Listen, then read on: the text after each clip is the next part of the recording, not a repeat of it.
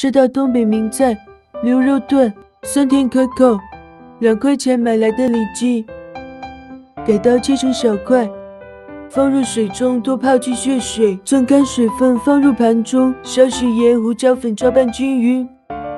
二勺玉米淀粉，半勺清水，抓制成像我这样酸奶糊，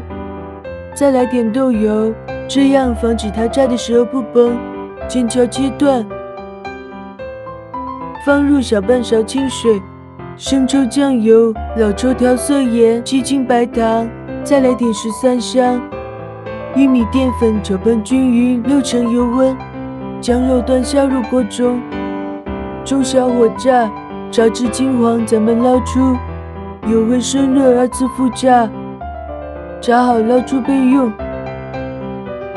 还有尖椒。炸一下，捞出锅里，葱花、蒜末爆出香味，将剁好的汁淋在上面，搅拌均匀，将肉段还有尖椒倒入锅中，大火给它煸炒几下，酸甜可口的溜肉段完成。感谢大家支持，亲爱的你，帮忙点个赞吧。